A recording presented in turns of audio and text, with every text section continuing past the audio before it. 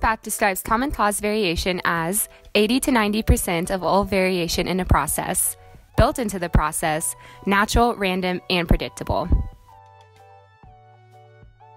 Hey, are you cooking something? Yeah, it's almost done. The oven is not on. This is seen when Jess forgets to turn the oven on, as turning the oven on is a step already in the process of baking. The Torspath also explains that the process can be improved if common cause variation is regulated and that the process is stable if common cause variation is found by itself.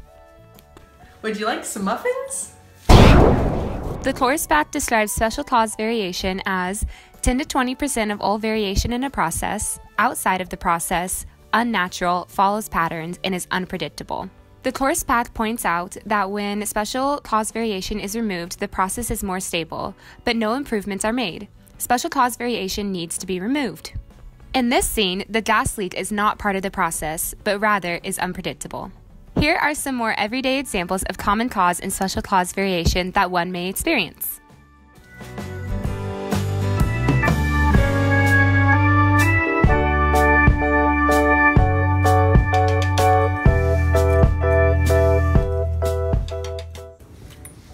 Bus is never coming.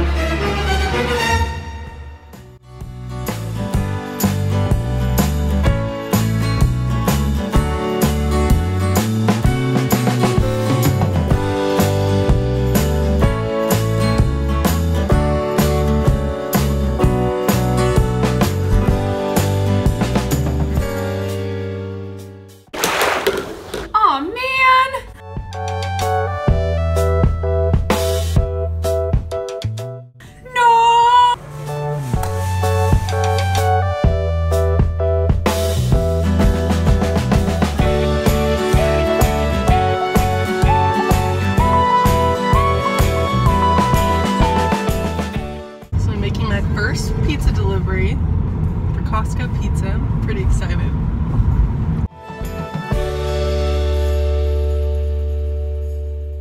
So that was the wrong house. A little lost if you can't tell. So we're gonna go try again.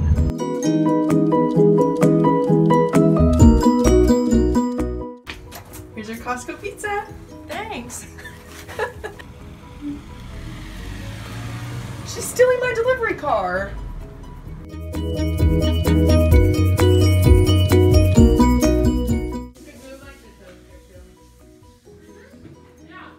Hey, I'm chilling.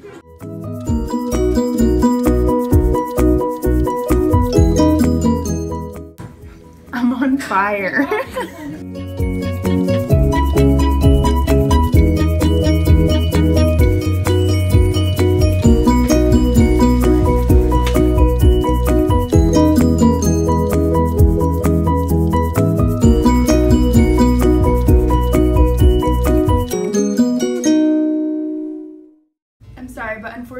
appendix burst and you're gonna have to stay another night in the hospital. Oh man.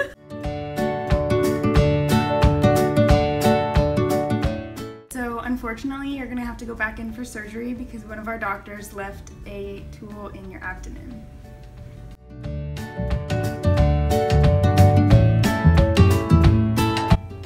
Classic special cause variation.